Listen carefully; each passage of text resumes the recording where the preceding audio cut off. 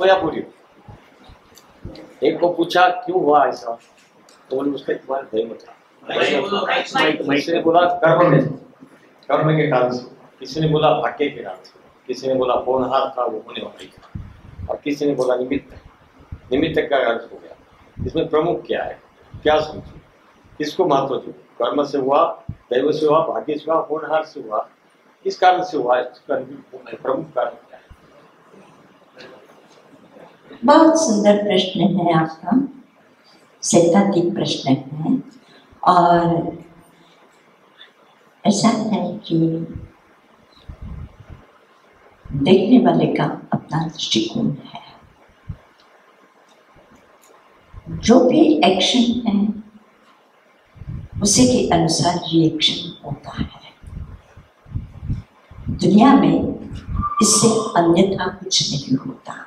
जैसे एक्शन होता है, उसी के अनुसार रिएक्शन होता है।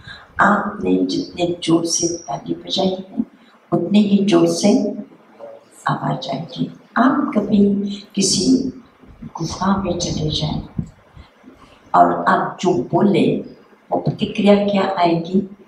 वैसी ही आएगी। अगर आपने दूध में चीनी डाल दी है तो दूध और अगर आप नमक डालते हैं तो खराब होगा। अगर आप दूध को पानी मिला देते हैं तो दूध क्या हो जाएगा? और उसमें से पानी निकाल लेते हैं तो तो अलग तो नहीं होगा। जैसे एक्शन उसी के अनुसार रिएक्शन दुनिया का एक ऐसा सिद्धांत है। हमें बहुत अच्छी तरह से समझ लेना चाहिए कि ज़मीन में जो बीज बोया जाता है, वृक्ष कैसा आएगा? कभी ऐसा नहीं होता कि भाग्य से कुछ हाँ उस नीम के पेड़ पर आम लग गए ऐसा नहीं होगा कभी हो ऐसा। फिर कोई कहे भाई हमारे भाग्य से नीम पर नीम आए, या कोई कहे कि भाई नियति थी इसलिए नीम के नीम आए वस्तुतः जैन सिद्धांत इस बात में बहुत स्पष्ट है कि कर्म के अनुसार उसका फल है।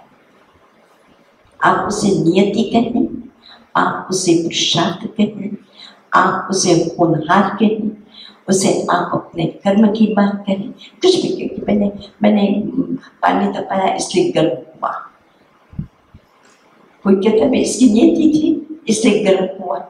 कोई कह सकता है कि भाई ये होनहार है इसलिए गर्म हुआ? अब क्या बोलते हैं? बस वस्तुतः इसके अंतरंग जो भाग है।